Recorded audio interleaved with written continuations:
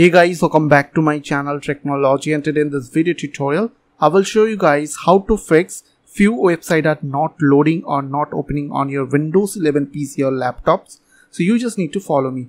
So firstly, you just need to check your proxy is enabled or disable. For that, you just need to right click on your start menu, click on settings. After open settings window, click on network and internet from your left side. On your right side, you have to click on proxy here you will see your proxies are enabled or disable from here. You can see here manual proxy setup.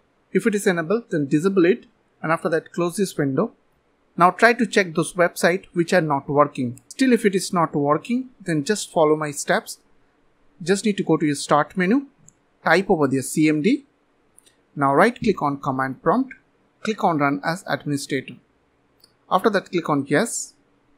Once it will open, you just need to put some command over there which I'll give you on my video description.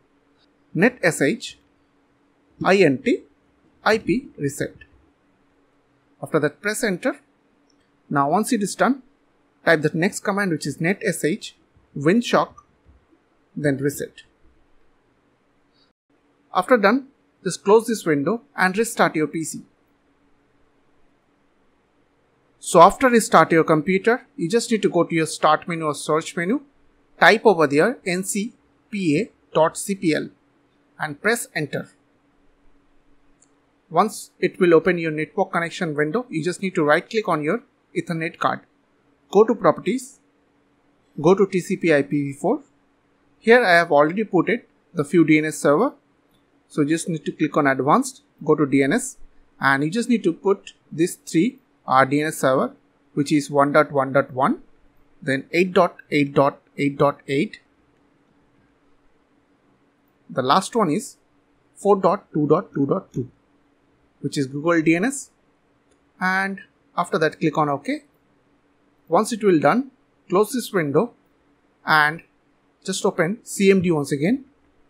Just go to start menu type command prompt CMD and right click then run as administrator. Click on yes now you have to put over there ip config space slash flush dns after done you just need to check those website and it will work for you. So i hope this quick tutorial is really for you. And please don't forget to click on the subscribe button like button and share button. And if you have any questions or question then comments down below. I will see you guys in the next one next video. Till then bye bye take care